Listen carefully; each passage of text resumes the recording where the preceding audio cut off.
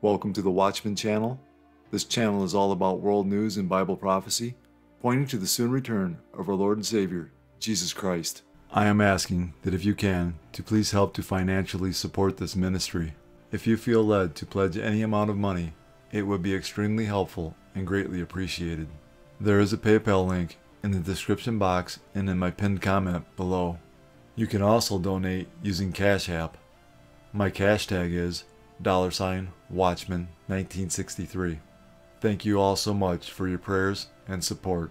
God bless. In the last days, the prophet Zechariah tells us Israel will be the focal point of world conflict, and he gives a dire warning to the nations who would dare come against Jerusalem. Zechariah 12 2 and 3 Behold, I will make Jerusalem a cup of drunkenness to all the surrounding peoples when they lay siege against Judah and Jerusalem. And it shall happen in that day that I will make Jerusalem a very heavy stone for all peoples. All who would heave it away will surely be cut in pieces, though all nations of the earth are gathered against it. This prophecy is unfolding right before our very eyes. The top leader of Hamas was assassinated in Iran just hours after an Israeli strike killed a high ranking leader of Hezbollah in Beirut. Iran is blaming Israel for the assassination and is threaten a, threatening a harsh response. Chris Mitchell reports from Jerusalem. Iran media announced Hamas leader Ismail Haniyeh was assassinated in Tehran after attending the inauguration of Iran's new president. Reports indicate he was killed in an airstrike at the location where he was staying. Israel has not commented on the reports, but Prime Minister Benjamin Netanyahu declared after the October 7th attack that the leaders of Hamas were dead men walking. The attack carried out inside Iran could ramp up the conflict in the Middle East. Iran's Supreme Leader Khamenei threatened it is our duty to take revenge and severely punish the Zionist entity for the assassination in Iran because the assassination was carried out on our soil. It's the second major blow against Israel's Iranian backed enemies on the same day. Earlier, the IDF confirmed it eliminated Fuad Shukr, one of Hezbollah's top leaders in Beirut. Fuad Shukr was the commander responsible for the Majd al-Shams massacre in which 12 children were murdered after Hezbollah fired an Iranian Falak 1 rocket directly at a soccer field in northern Israel on Saturday evening. He was a senior terrorist who has the blood of the Israelis and many others on his hands. Shukr also participated in the 1983 Beirut bombing that killed 241 U.S. Marines. My assessment is that Hezbollah uh, will respond to this, and then the IDF already has other targets ready. Jonathan Conricus from the Foundation for the Defense of Democracies tells CBN News Hezbollah's next step is critical. Where I think that we should be looking forward now is to see what type of response will Hezbollah provide, where will they fire, which type of weapons will they use, and then, of course, the second, third, and fourth, and fifth layer of responses that the IDF has ready to Hezbollah's responses. The strike came after Hezbollah killed 12 children in a Druze village on the Lebanese border. Conricus says it's important to remember Iran is the power behind the terror group. As long as Israel doesn't present a strategy and starts to demand a price of the Iranian regime for killing Jews in the Middle East, in Israel, then I don't think that the situation will change because everything that we see happening since October 7 and many years before that, but greatly so after October the 7th, all of that is related to Iran. Conricus says it's hard to predict whether this may lead to full scale war. Shocking comments made by Turkish President Erdogan, who on Sunday threatened to invade Israel, further escalating tensions between the two countries.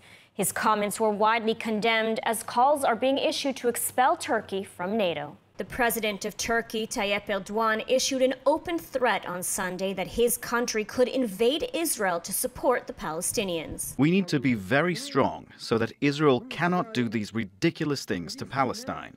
Just as we entered Karabakh, just as we entered Libya, we can do something similar to them. There is no reason for us not to. We only have to be strong so that we can take these steps.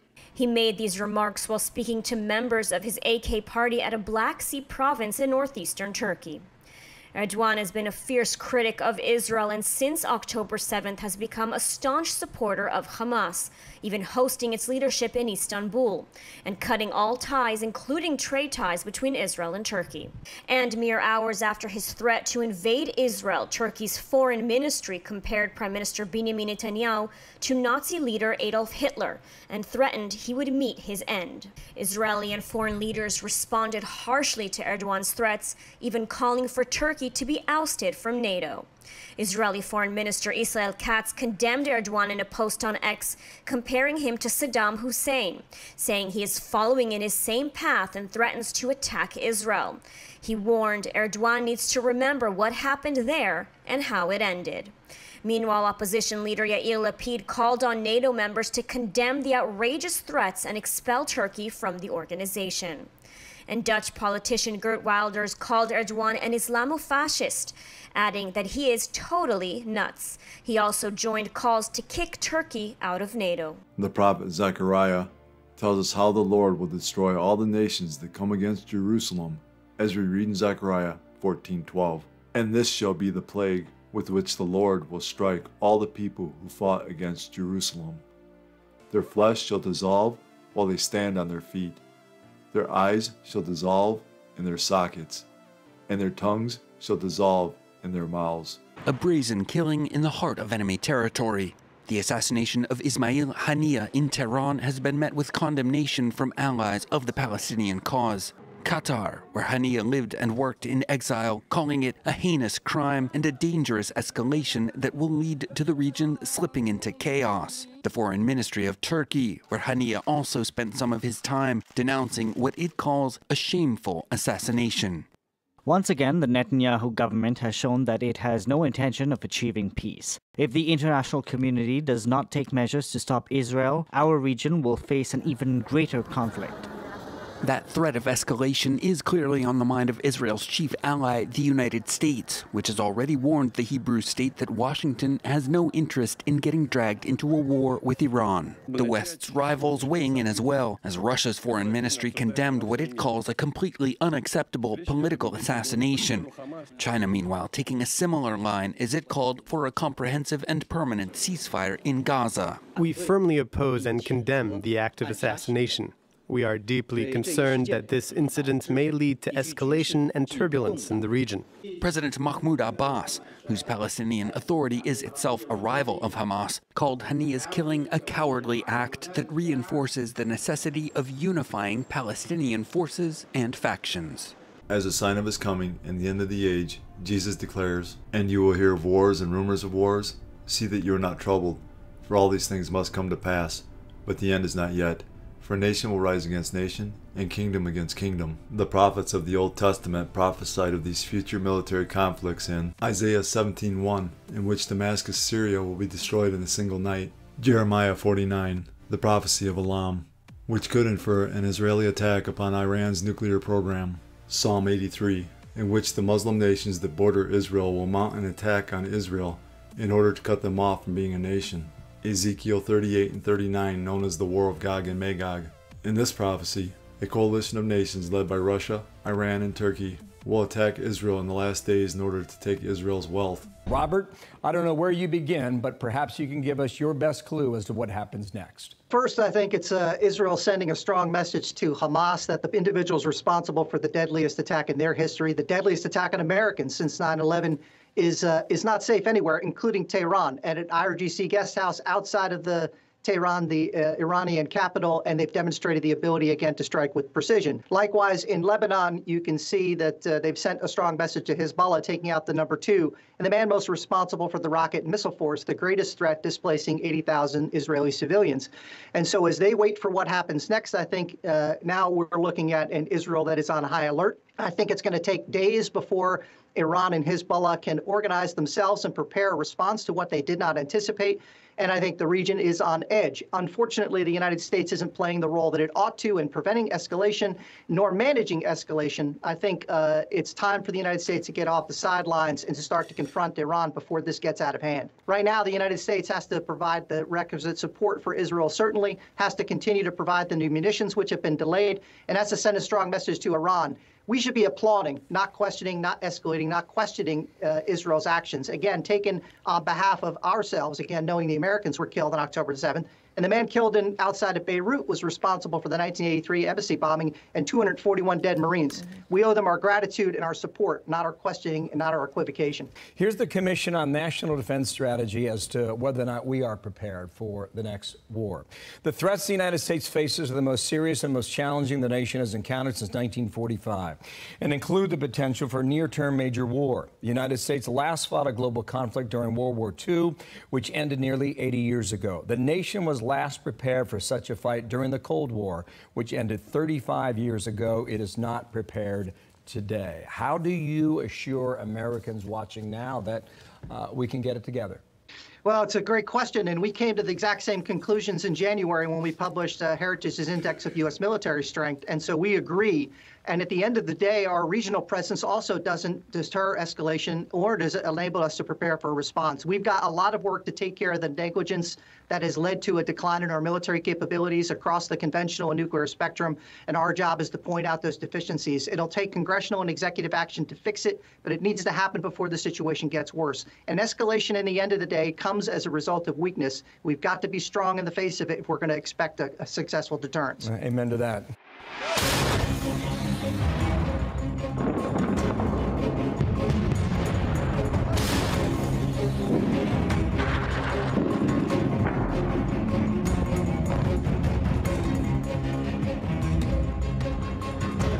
If someone acts and threatens our regime and our territory, we consider it appropriate to use all the means at our disposal. We take this very seriously. And make no mistake, the autocrats of the world are watching closely to see what happens in Ukraine, to see if we let this illegal aggression go unchecked. is simply unthinkable. Everyone is threatened. Today's Russia has a well stocked toolbox for destabilization. Winds of war have been blowing across Europe in recent months, and in parallel to Israel, even if many have forgotten, the war in Ukraine has been going on for two and a half years now. Putin is militarily and politically far from ending the war on his own terms, tightening alliances with the anti Western forces and raising the threat threshold. There is an understanding in Europe that the risk of sliding into a world war after over 80 years is present and increasing. While Putin launches implicit threats, people around him, those close to the government, say this quite clearly. There will be no return to peace. The West will be forced into peace when it will again be scared to the extent that it understands there are no other options. For this, we should look for their weak spots and mercilessly, ruthlessly strike them there. The fear of nuclear weapons is the main reason for the cautionary policy of the West against Moscow, also dubbed controlled escalation.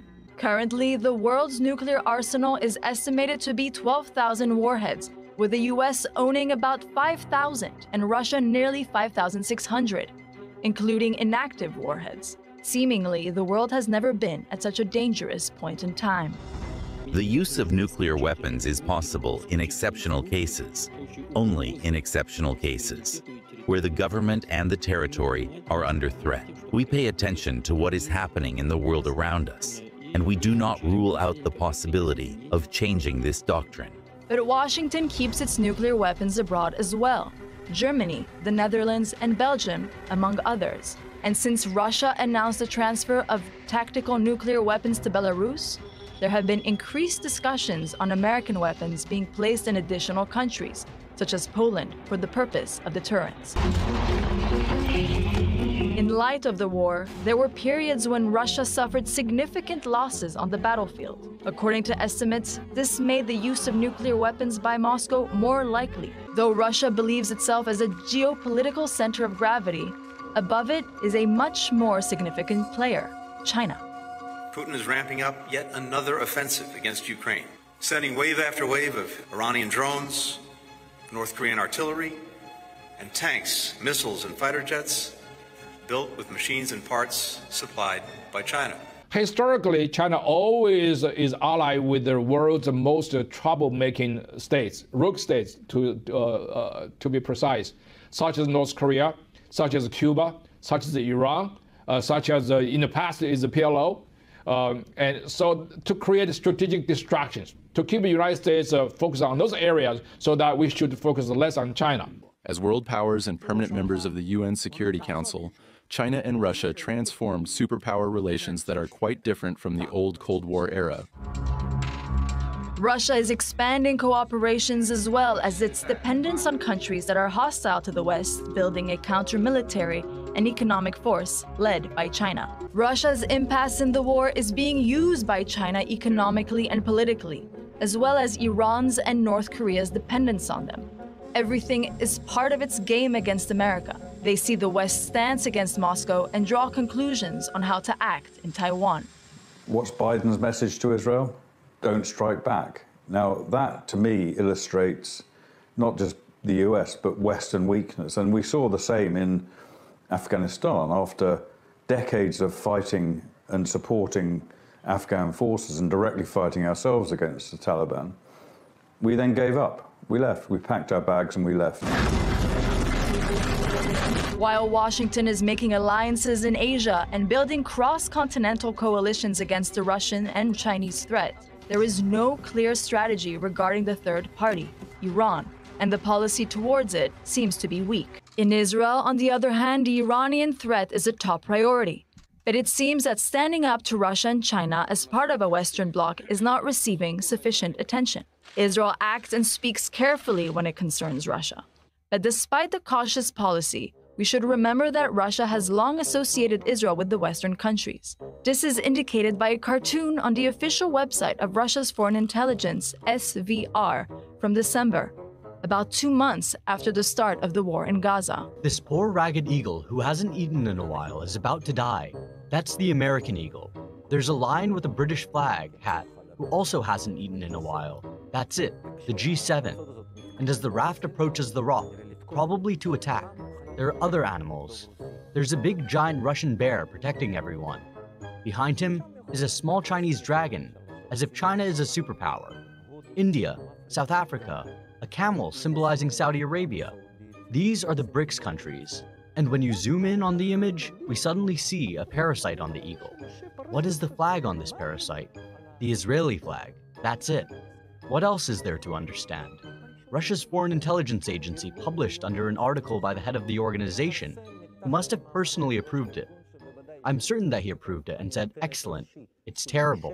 This is a country that absolutely sees us as an enemy. People like to hear good news, and they do not want to hear that God's judgment is coming. The watchmen of our time have the job of delivering that bad news. God bore witness against the people to whom Isaiah was sent to minister, calling them rebellious people deceitful children, children unwilling to listen to the Lord's instruction, as we read in Isaiah 39, that this is a rebellious people, lying children, children who will not hear the law of the Lord. Such people have closed their ears to the word of the Lord, and desire to hear only peace, even when there is no peace. They say to God's prophets, Give us no more visions of what is right. Tell us pleasant things prophesy illusions. Stop confronting us with the Holy One of Israel. As we read in Isaiah 30, 10, and 11, who says to the seers, Do not see, and to the prophets, Do not prophesy to us right things. Speak to us smooth things, prophesy deceits. Get out of the way, turn aside from the path, cause the Holy One of Israel to cease from before us. Just as Jeremiah the prophet proclaimed, the judgment was coming upon Jerusalem, the watchmen of our time, our warning of God's soon coming judgment on a wicked and unrepentant world. Are you listening? It seems as though we are on the verge of World War III. Jesus told us in the last days there would be war between the nations. Are we seeing the stage setting taking place to fulfill this prophecy? If so, then we're close to the time Jesus refers to as the worst time in the history of the world as we read in Matthew 24 21. For then there will be great tribulation, such as has not been since the beginning of the world until this time, no, nor ever shall be. If we are that close to the tribulation, then the world is about to see war the likes of this planet has never seen before. The book of Revelation tells us when Jesus breaks the first seal, the Antichrist will be unleashed. When Jesus breaks the second seal, war will be unleashed. Resulting from these wars will be famine, pestilence, and death as Jesus breaks the third and fourth seals. The Bible tells us 25% of the population of the earth will be killed at this time, as we read in Revelation 6 8. So I looked, and behold, a pale horse, and the name of him who sat on it was Death, and Hades followed with him. And power was given to them over a fourth of the earth, to kill with sword, with hunger, with death, and by the beasts of the earth. The population of the world is roughly 8 billion, meaning 2 billion people will die during this time. The remaining 17 judgments of God include devastating earthquakes, cosmic disturbances, scorching heat, meteors, 100 pound hailstones, volcanic eruptions, loathsome sores on those who take the mark of the beast, the seas, rivers, and springs of water turn to blood, demons torturing mankind, and a 200 million strong demonic army who will kill another third of mankind, bringing the total to 4 billion. Political unrest is intensifying in Venezuela following its disputed presidential election. President Biden and other leaders today calling on the country's government to release voting data amid widespread accusations of fraud. Another day of violent protests in Venezuela. Thousands have taken to the streets outraged over the re-election of authoritarian leader Nicolas Maduro. Brawls erupting in the capital and across the country throughout the night and day today, some clashing with the National Guard or calling fraud. Protesters toppled symbols of the socialist regime, seen burning flyers of Venezuela's strongman. At least 11 have reportedly died so far. But this afternoon in eastern Caracas, a bright contrast of confident hope. People are chanting libertad, freedom, and rushing to get a glimpse of Maria Corina Machado, the leader of the opposition. And the man they say today is their president-elect, Edmundo González Urrutia. Johanna Campbell says many of her family members have had to leave Venezuela since Maduro came to power and is pleading for the international community to step in. I need you guys to support us, to proclaim Edmundo González as our president. That's what we need. That's what you'd like to see from the U.S. government, Yes, from the White House. Of course, that's what I want from the White House. To say people in Venezuela went outside peacefully. They voted for the people they want to be the president. Citing tally certificates, Machado claimed opposition candidate Edmundo González Urrutia had more than double the number of votes than Maduro. While in other parts of Caracas, government loyalist gangs continue to intimidate civilians and attack protesters. This as the president of the National Assembly has called for the arrest of Machado and Maduro's challenger for what they say is inciting violence. And tonight the protests are picking up again. We're hearing from these folks who say we're not criminals, we're not trying to be violent. We tried it the right way by voting, but they believe the election was stolen and they're ready now to confront the police. Luke 21:25 And there will be signs in the sun, in the moon, and in the stars, and on the earth distress of nations, with perplexity, the sea and the waves roaring. One of the many signs we are living in the last days right before the return of Jesus Christ is nations will be in a state of perplexity or uncertainty over what to do in a difficult situation. This is exactly what is happening in our world today. Southport cleaning up as the city continues to mourn. Tuesday evening, its streets were the scene of violent clashes, protesters throwing bricks at police and setting vehicles on fire. The riot broke out just a few streets away from an earlier vigil for the victims of Monday's mass stabbing that left three young girls dead and eight others wounded. Officials believe far right agitators are behind the unrest. Some 50 officers were hurt. The violence erupted when around 100 rioters began to throw bricks at a nearby mosque. Police have connected them to the English Defense League, a far right anti Muslim group. They'd been fired up by misinformation on right wing social media suggesting an Islamist link to the stabbing. Police have arrested a 17 year old suspect in Monday's attack. They have yet to reveal his identity, confirming only that he was born in the UK. Prime Minister Keir Starmer had been at Tuesday's vigil. He later condemned the ensuing violence on social media. Those who have hijacked the vigil for the victims with violence and thuggery have insulted the community as it grieves. They will feel the full force of the law. Monday's victims had been at a children's yoga class dancing to Taylor Swift when the attack unfolded. Is global chaos the new normal? As anyone can plainly see, the world is in a state of decay, moral, economic, political, every way possible. People are saying the world is out of control and looking for someone, anyone, to rescue the planet. Soon, very soon, a leader will appear on the horizon that appears to have all the answers, to calm the oceans, to bring peace to all the nations. His title will be the Antichrist, and he will be welcomed by millions of those on earth not taken with the rapture. Unfortunately, his true identity will be known soon to those left behind, that his true intentions are death, destruction, and control. So yes, global chaos is the new normal, until the Lord Jesus Christ comes at the end of the Antichrist's seven-year reign of terror and establishes true peace on earth. It seems like a good time for Satan to present the lawless one to the world. 2 Thessalonians 2 7 through 12. For the mystery of lawlessness is already at work. Only he who now restrains will do so until he is taken out of the way. And then the lawless one will be revealed, whom the Lord will consume with the breath of his mouth and destroy with the brightness of his coming. The coming of the lawless one is according to the working of Satan, with all power, signs, and lying wonders and with all unrighteous deception among those who perish, because they did not receive the love of the truth, that they might be saved.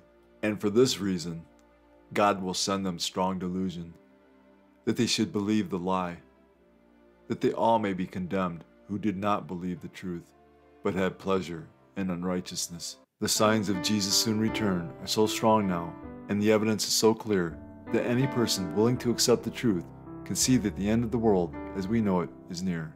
For God so loved the world that he gave his only begotten Son, that whoever believes in him should not perish, but have everlasting life.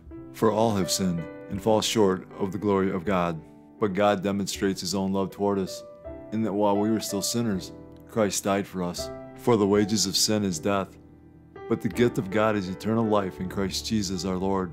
That if you confess with your mouth the Lord Jesus and believe in your heart that God has raised him from the dead, you will be saved. These are the ABCs of salvation. A. Admit that you're a sinner. B. Believe in your heart that Jesus Christ died for your sins, was buried, and God raised him from the dead. C. Call upon the name of the Lord, and you will be saved. Jesus paid the price for mankind's sin. He has provided a way to spend eternity with Him and the Father. All you have to do is believe in the Lord Jesus, and you will be saved. God has already done all the work. All you must do is receive, in faith, the salvation God offers. Fully trust in Jesus alone as the payment for your sins.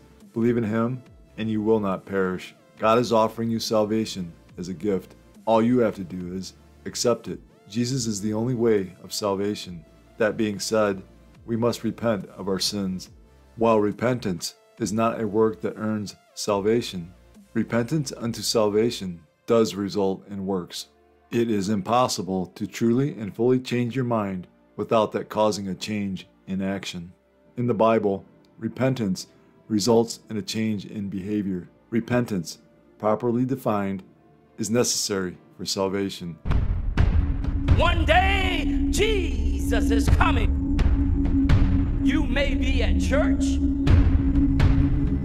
You may be at work. May be asleep. God grant that you will be ready when He makes His personal appearance.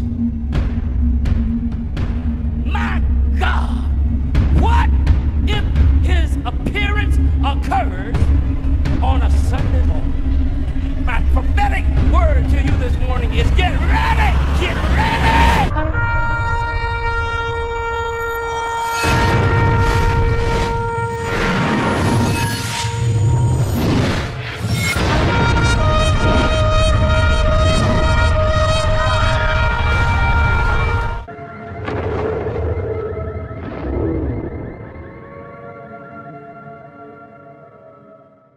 Time is short. Call upon the name of Jesus today.